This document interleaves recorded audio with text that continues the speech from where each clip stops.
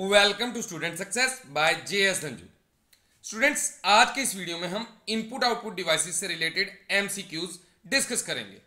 ये input output devices से related first part है तो let start with first question of input output devices first question this type of keyboard is designed specifically to alleviate wrist strain associated with repetitive movements of typing तो जब हम keyboard पे typing करते हैं तो wrist strain means किसी muscle में जैसे कोई प्रॉब्लम आ जाना तो उन चीज़ों को अवॉइड करने के लिए हम किस तरह के कीबोर्ड को यूज़ करते हैं? तो ये मोस्ट इंपॉर्टेंट क्वेश्चन है तो इसका करेक्ट आंसर है ऑप्शन ए एग्रोनॉमिक कीबोर्ड तो ये होता है एक नॉर्मल कीबोर्ड तो नॉर्मल कीबोर्ड जो है, उसे जनरली बोला जाता है क्वेटी कीबोर्ड जैसे हम मोबाइल में भी टाइपिंग करते हैं तो उसकी भी कीज कुछ इस तरह से ही नज़र आएँगी क्यू डब्ल्यू तो इसी सीक्वेंस में आएँगी। तो ये होता है क्वेटी कीबोर्ड और अब बात करते हैं एग्रोनॉमिक कीबोर्ड की। तो ये है आपके सामने एग्रोनॉमिक कीबोर्ड तो इसकी कीज भी क्वेटी कीबोर्ड की तरह ही सीक्वेंस में होती हैं, लेकिन इसकी शेप जो है, वो थोड़ी डिफरेंट होती है। तो ये आपने देखा होगा कि इसकी शेप कुछ अलग से है। तो जब हम ज़्यादा टाइपिंग करते हैं तो हमारी रिस्ट पे कोई प्रॉब्लम ना हो तो इसलिए इस कीबोर्ड को यूज़ किया जाता है। तो अभी तक एग्रोनॉमिक कीबोर्ड जो है, वो ज़्यादा फ़ेमस नहीं है। जो मैंने पहले आपको क्वेटी कीबोर्ड दिखाया, वही वाले कीबोर्ड्स आजकल ज़्यादा चलते हैं। Next question type of key is generally used as a shortcut for a specific task? तो कीबोर्ड में वो कौन सी कीज हैं जिनकी हेल्प से हम पर्टिकुलर फ़ंक्शंस परफॉर्म कर सकते हैं। तो इसका करेक्ट आंसर है ऑप्शन सी फ़ंक्शन की तो फ़ंक्शन कीज जैसे F1, F2, F3 तो ऐसे ही F12 तक फ़ंक्शन कीज अवेलेबल होती हैं कीबोर्ड में। तो उन कीज की हेल्प से हम डिफरेंट फ़ंक्शंस परफॉर्म करते हैं। Next question which type of following choices would not be classified as a pointing device तो इनमें से कौन सा डिवाइस है जिसे हम पॉइंटिंग डिवाइस में कंसिडर नहीं करते? तो इसका करेक्ट आंसर है ऑप्शन डी ग्राफिक टैबलेट तो देखिए माउस एक पॉइंटिंग डिवाइस है जॉयस्टिक भी पॉइंटिंग डिवाइस है एंड लाइट पेन भी पॉइंटिंग डिवाइस है. लेकिन ग्राफिक टैबलेट जो है, वो पॉइंटिंग डिवाइस नहीं होता. ये देखिए, ये आपको जो नज़र आ रहा है, ये है एक ग्राफिक टैबलेट और ये है टैबलेट पे यूज़ होने वाला पेन तो अगर हम बात करें ग्राफिक टैबलेट की तो ये पॉइंटिंग डिवाइस नहीं है. लेकिन अगर हम पेन की बात करें तो इसे हम पॉइंटिंग डिवाइस में कंसिडर कर सकते हैं. लेकिन ऑप्शंस में आपको नज़र आ रहा है, यहाँ पे सिर्फ़ ग्राफिक टैबलेट लिखा है. ग्राफिक पेन टैबलेट नहीं लिखा. सो आंसर ये होगा। Next question the mouse dash usually appears in the shape of an arrow तो माउस की कौन सी चीज़ जो है, वो शेप ऑफ़ एरो की तरह नज़र आती है। तो इसका करेक्ट आंसर है ऑप्शन सी पॉइंटर तो माउस पॉइंटर जो है, वो एरो की शेप की तरह नज़र आता है। तो ये देखिए, कुछ इस तरह से एरो नज़र आता है। जब आप काम कर रहे हो और माउस का यूज़ कर रहे हो। माउस से रिलेटेड कुछ इस तरह से भी आपको पॉइंटर्स नज़र आते हैं। नेक्स्ट क्वेश्चन को कंटिन्यू करने से पहले मैं आप सबको स्टूडेंट्स एक बात बोलना चाहूँगा कि कभी भी आपने आज का काम कल पे नहीं डालना। जो इंसान आज का काम कल पे डालता है, वह लाइफ में कभी ग्रो नहीं कर सकता। सो अगर आपने यह डिसाइड किया है कि मैंने इस काम को कंप्लीट करने के बाद ही सोने जाना है आप उस काम को कंप्लीट करने के बाद ही सोने जाओ। इससे आपकी लाइफ में बहुत बड़ा चेंज आएगा और स्टेप बाय स्टेप आप सक्सेस की ओर बढ़ते चले जाओगे। तभी तो कहते हैं, मंजिल उन्हीं को मिलती है जो निरंतर चलते हैं। Because consistency is the key to success next question most keyboards use an arrangement of keys given the name तो इस क्वेश्चन का आंसर अभी अभी मैं बता चुका हूँ आपको। तो इसका करेक्ट आंसर है ऑप्शन बी क्वेटी कीबोर्ड तो कीबोर्ड में अरेंजमेंट ऑफ़ कीज या सीक्वेंस ऑफ़ कीज कैसी है? उसको नाम दिया गया है क्वेटी कीबोर्ड ये देखिए, ये है एक qwerty keyboard next question this type of mouse has no moving parts तो इनमें से कौन सा माउस है जिसके मूविंग पार्ट्स नहीं होते? तो इसका करेक्ट आंसर है ऑप्शन डी ऑप्टिकल माउस। अच्छा ये देखिए, जिसमें लाइट जल रही होती है, वो होते हैं ऑप्टिकल माउस। आपने देखे होंगे। और एक और माउस होते हैं, और इस तरह के, जिसमें कि नीचे जो है, वो बॉल दी जाती है। तो इन्हें क्या बोला जाता है? Mechanical mouse. इससे रिलेटेड भी आगे एक क्वेश्चन आपको आएगा।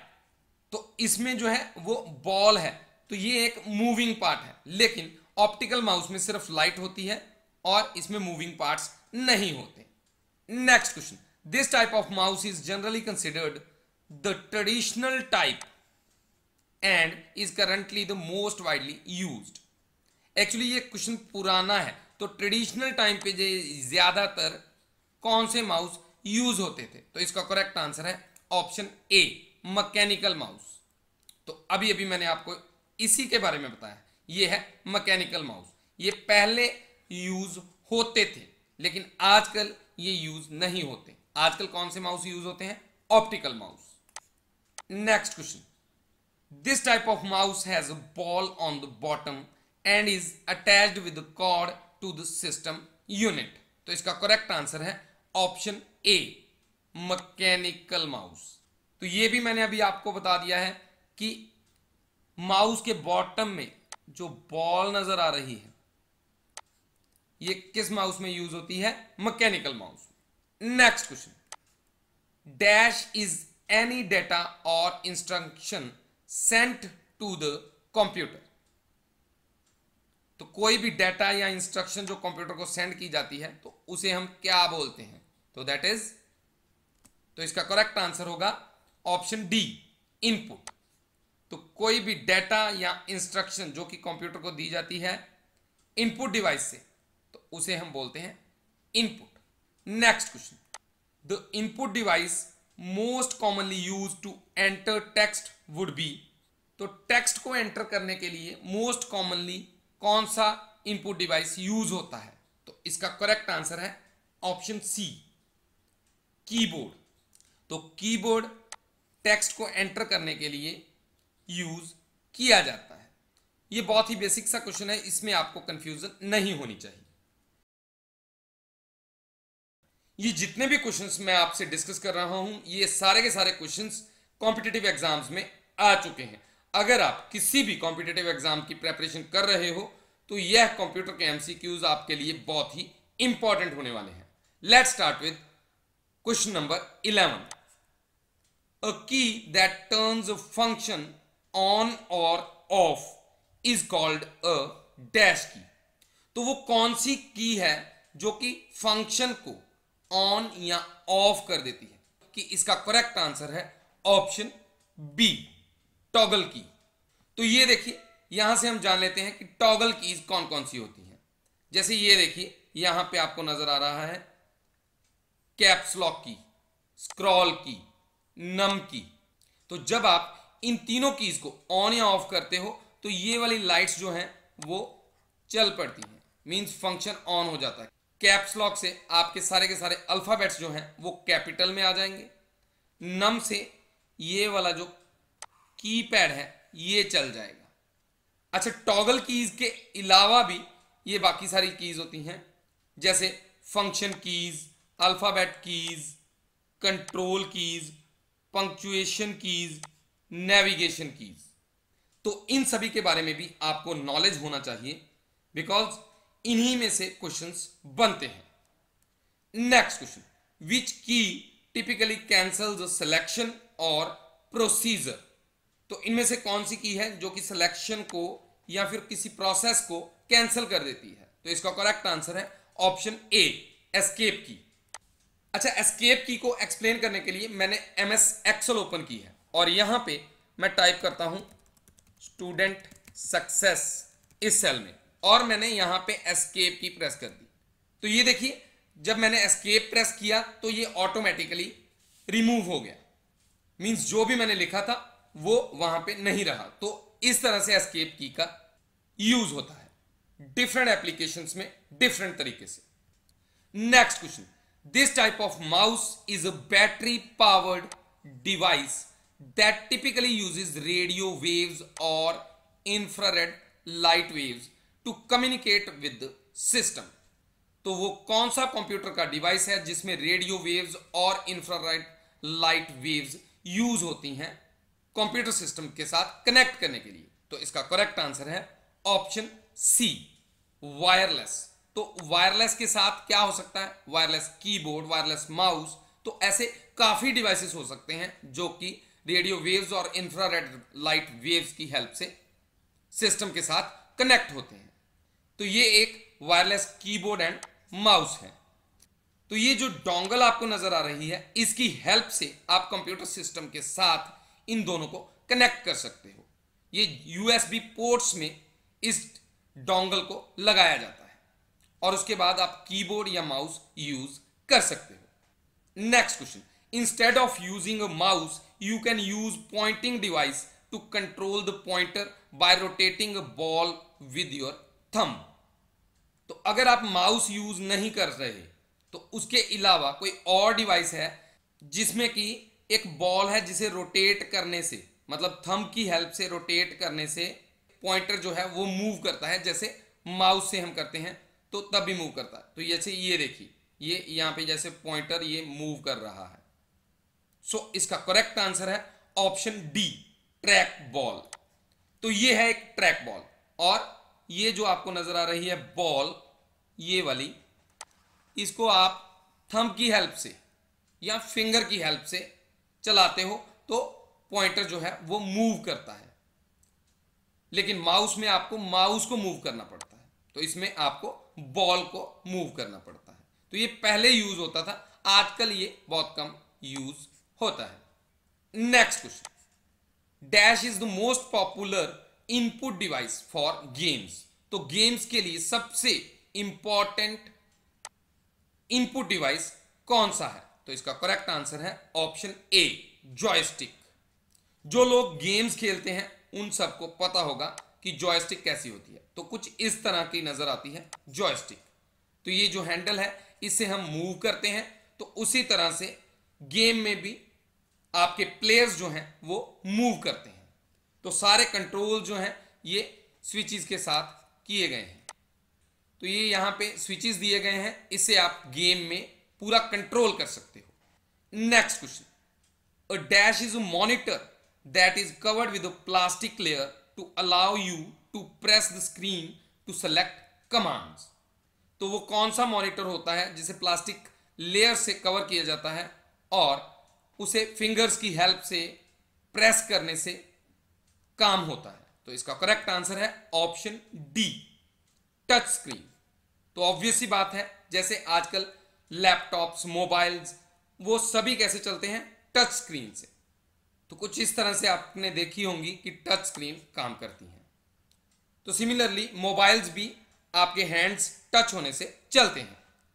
Next question this type of mouse emits and senses light to detect mouse movement तो कौन सा माउस है जो कि लाइट एमिट करता है और उसी से सेंस करता है पूरी की पूरी मूवमेंट? तो इसका करेक्ट आंसर है option B, optical mouse.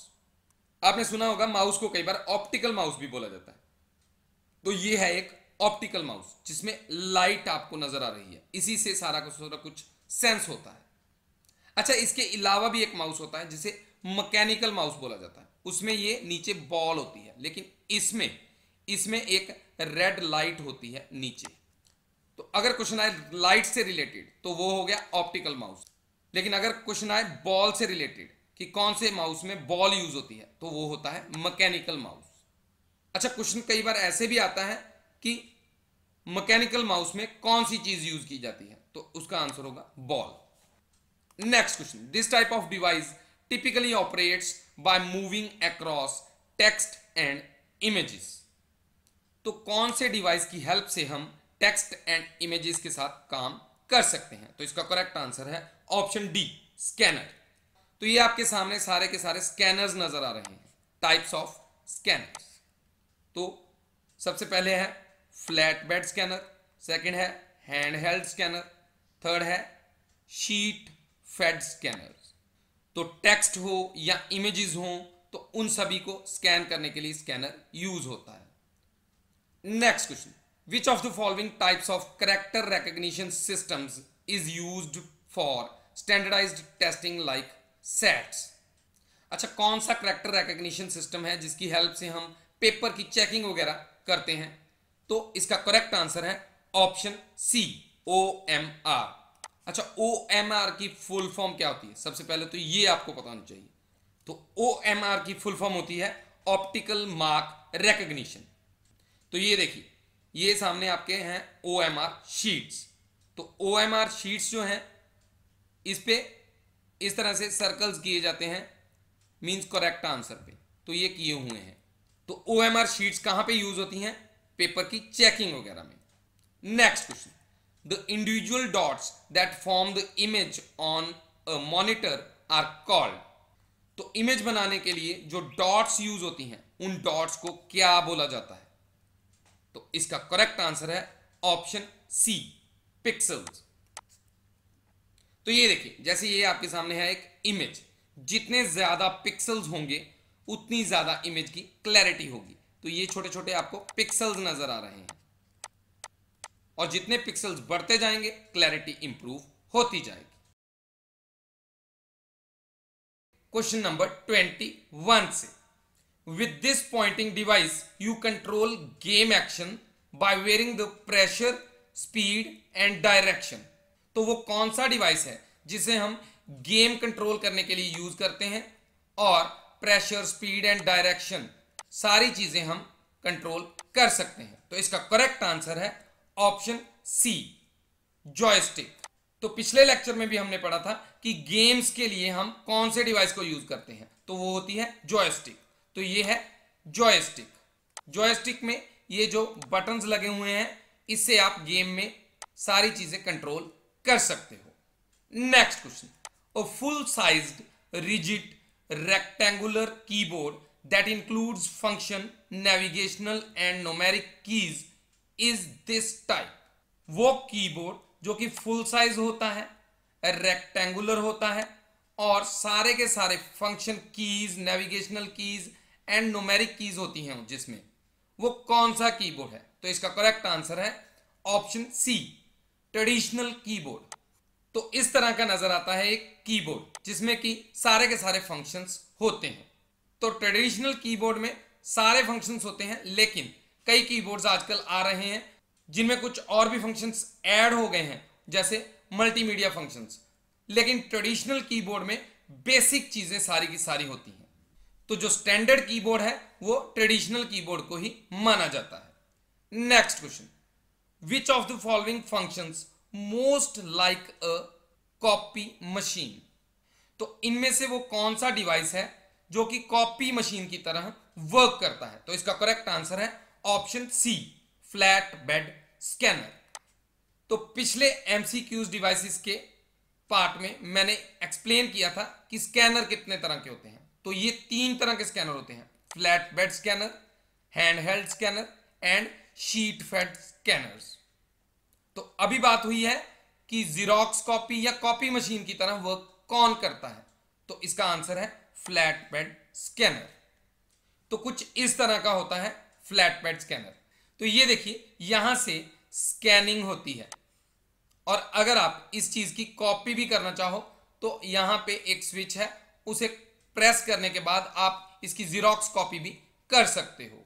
So it acts as a copy machine next question which of the following would not be considered type of scanning device तो इनमें से कौन सा स्कैनिंग डिवाइस नहीं है? तो इसका करेक्ट आंसर है ऑप्शन ए लाइट पेन ये तीनों डिवाइसेस स्कैनर की कैटेगरी में ही आते हैं। लेकिन लाइट पेन जो है वो स्कैनर की कैटेगरी में नहीं आता। तो ये देखिए, कुछ इस तरह का होता है लाइट पेन। इसे कंप्यूटर से कनेक्ट कर लिया जाता है और कंप्यूटर पे काम किया जा सकता है लाइट पेन की हेल्प से। मैं आपको एक एग्ज़ाम्पल देता हूँ, उससे आपको क्लियर हो जाएगा कि लाइट पेन की वर्किंग कैसे है। जैसे क्रिकेट मैच चल रहा होता है तो कई बार कमेंटेटर्स क्या करते हैं, वो राउंड करके बताते हैं कि प्लेयर्स कहाँ कहाँ पे खड़े हैं। जैसे एक कॉर्नर में कोई प्लेयर खड़ा है तो वो उसे राउंड कर देते हैं। सिमिलरली फील्डिंग को समझाने के लिए सभी प्लेयर्स को राउंड किया जाता है। तो लाइट पेन का यूज़ किया जा रहा है प्रैक्टिकली वहाँ पे। Next question a dash scanner records characters by sliding it along line of text तो वो कौन सा स्कैनर है जिसे कि हम टेक्स्ट के करेक्टर्स के ऊपर मूव करके उस टेक्स्ट को स्कैन कर सकते हैं। तो इसका करेक्ट आंसर है ऑप्शन डी पोर्टेबल स्कैनर। तो पोर्टेबल का मीनिंग तो आपको पता होगा। पोर्टेबल चीज़ें वो होती हैं जिन्हें हम आसानी से मूव कर सकते हैं। सो so, वो स्कैनर जिसे हम आसानी से मूव करके किसी टेक्स्ट को स्कैन कर सकें। तो उसे क्या बोलेंगे? Portable scanner.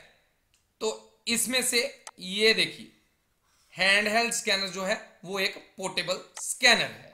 बिकॉज़ इसे आसानी से हैंड से मूव करके हम किसी चीज़ को स्कैन कर सकते हैं। Next question a universal product code is read by what type of scanner तो यूपीसी यानी यूनिवर्सल प्रोडक्ट कोड तो इसे स्कैन करने के लिए कौन सा स्कैनर यूज़ होता है? तो ये क्वेश्चन भी बहुत ही इंपॉर्टेंट है और काफ़ी बार रिपीट भी हो चुका है। तो इसका करेक्ट आंसर है बारकोड स्कैनर अच्छा आपने देखा होगा, जब आप मॉल्स में कोई चीज़ परचेज करने जाते हो तो उस प्रोडक्ट के बॉक्स पे कुछ इस तरह की लाइंस लगी होती हैं।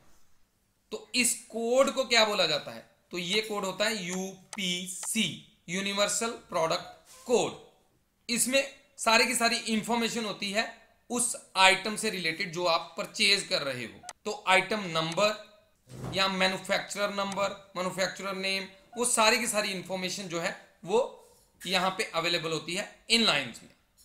तो इसे जनरली बार कोड बोल दिया जाता है। तो बार कोड स्कैनर क्या करता है? बार कोड को स्कैन करता है। Next question which of the following refers to special type of video camera used for broadcasting images on the internet तो वो कौन सा वीडियो कैमरा है? जो कि इमेजेस या वीडियो को ब्रॉडकास्ट करने के लिए यूज़ होता है इंटरनेट पे। तो इसका करेक्ट आंसर है ऑप्शन ए वेब कैम तो ये दोनों है वेब कैम्स आपने देखा होगा, कई बार ऑनलाइन मीटिंग्स में या फिर ऑफ़िस में या स्कूल्स में इन वेब को यूज़ किया जाता है।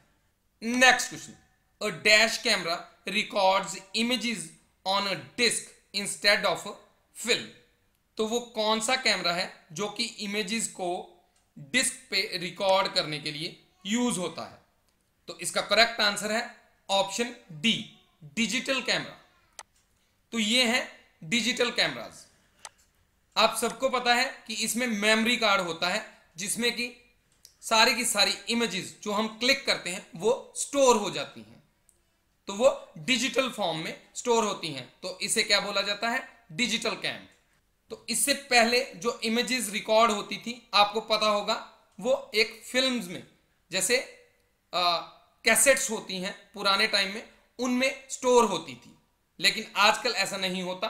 तो डिजिटल फॉर्म में इमेजेस स्टोर होती हैं मेमोरी कार्ड में। Next question which of the following types of character recognition systems requires the use of magnetic ink तो कौन सा करेक्टर रिकग्निशन सिस्टम है जो कि मैग्नेटिक इंक को रीड करने के लिए यूज़ होता है। तो इसका करेक्ट आंसर है option B M I C R तो एम आई सी आर की फुल फॉर्म क्या होती है? मैग्नेटिक इंक करेक्टर रिकग्निशन तो इसके नाम से ही पता चल जाता है मैग्नेटिक इंक के बारे में बात हो रही है।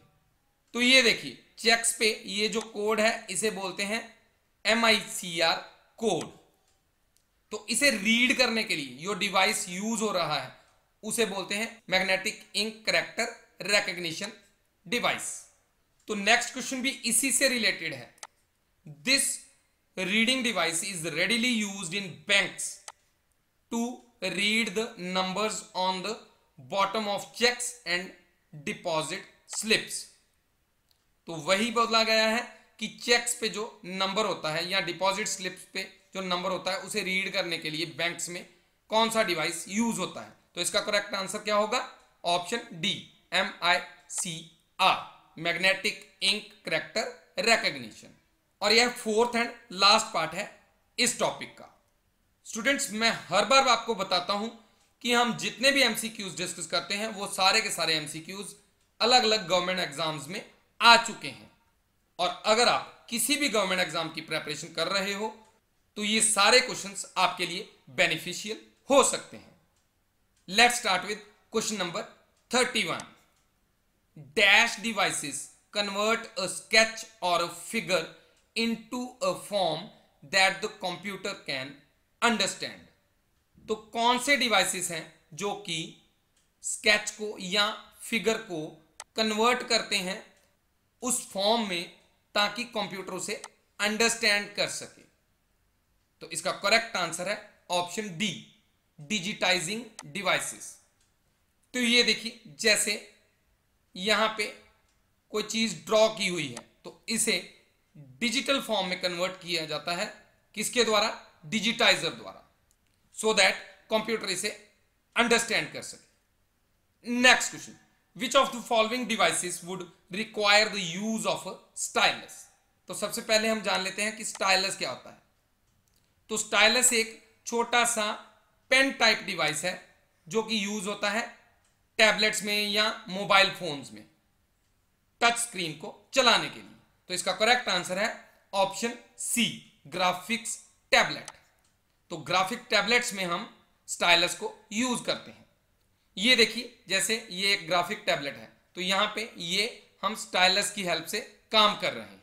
तो आपने देखा होगा मोबाइल्स में भी छोटी छोटी पेन की तरह डिवाइसेस यूज़ होते हैं उन्हें स्टाइलस बोला जाता है।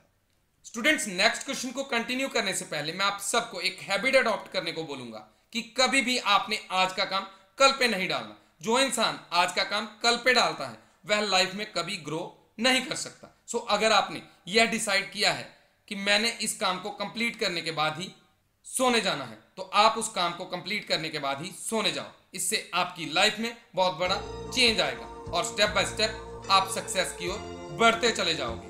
तभी तो कहते हैं, मंजिल उन्हीं को मिलती है जो निरंतर चलते हैं। Because consistency is the key to success next question a dash records the movements of the user's pen over a piece of paper तो इसका करेक्ट आंसर है option B digital notepad next question The ALU of a computer normally contains a number of high speed elements called तो computer का ALU ALU यानी arithmetic logic unit तो कौन से high speed elements को contain करता है?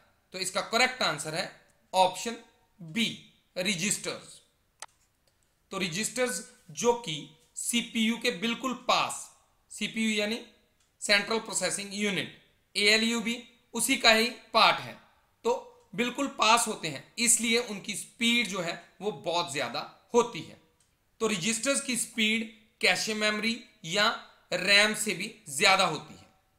इसीलिए इन्हें हाई स्पीड एलिमेंट्स बोला जाता है। तो रजिस्टर्स हाई स्पीड एलिमेंट्स होते हैं। तो मैं इसे डायग्राम की हेल्प से एक्सप्लेन कर देता हूँ। तो यहाँ पे कैशे मेमोरी के बारे में बताया हुआ है।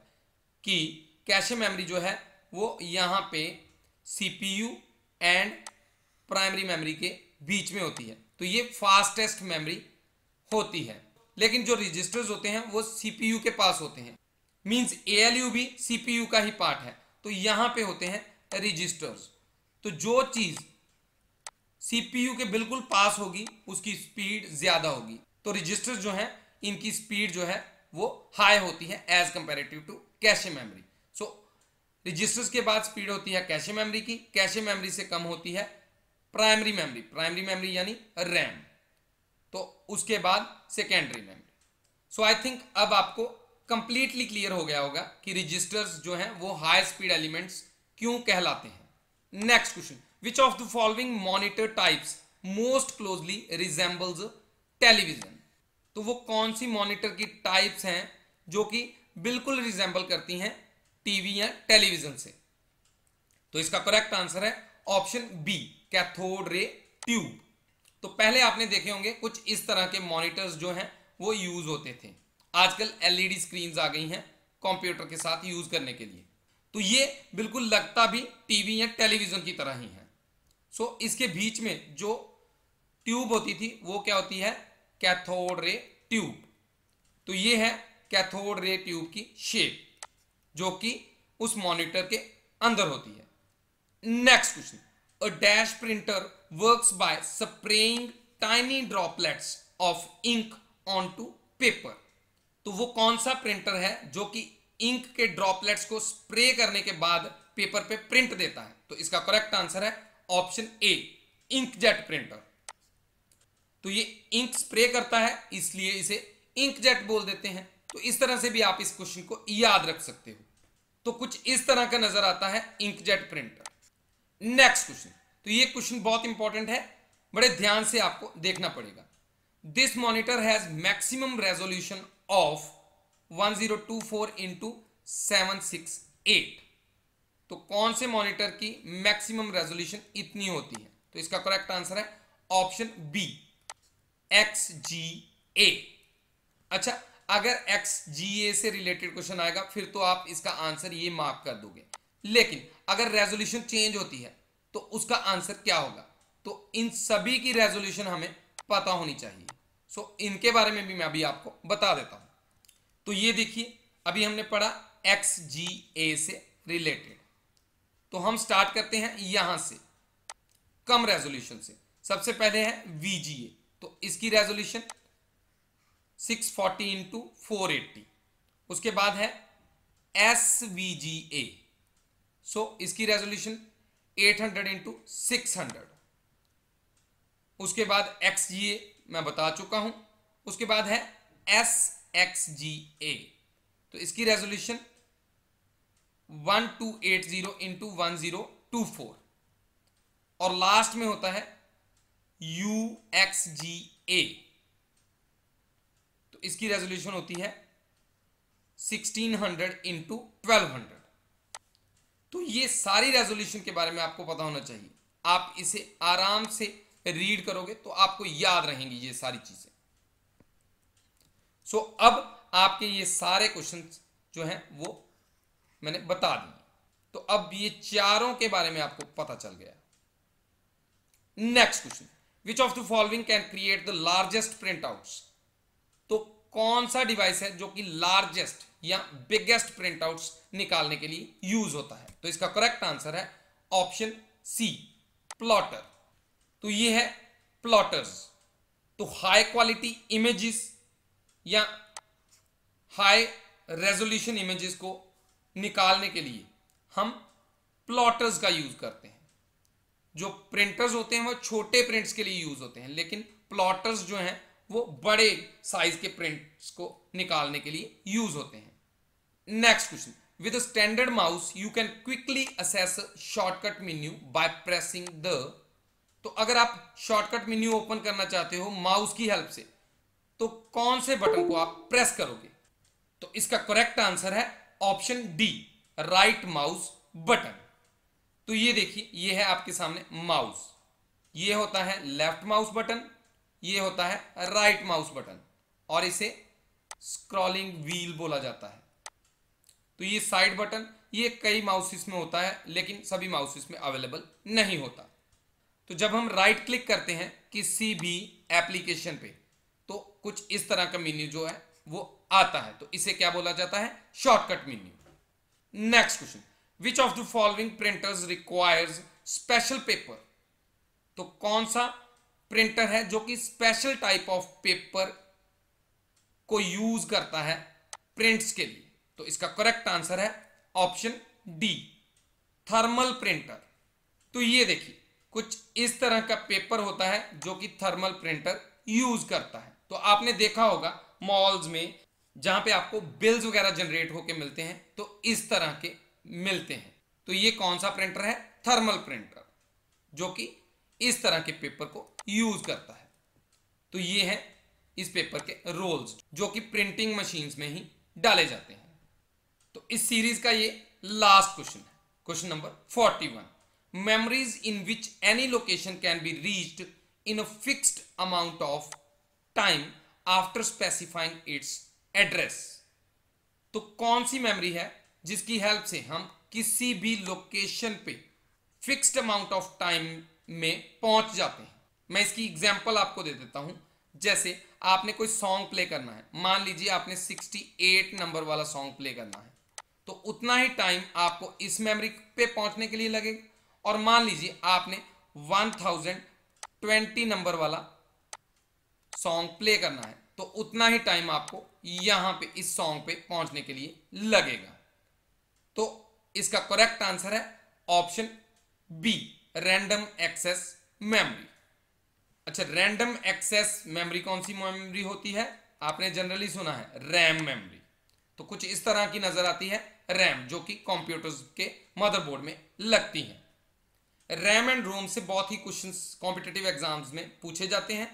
तो इन दोनों के बारे में मैं आपको कुछ इंपॉर्टेंट पॉइंट्स बता देता हूँ। जैसे रैम जो है वो टेम्परेरी स्टोरेज है रोम जो है वो परमानेंट स्टोरेज है।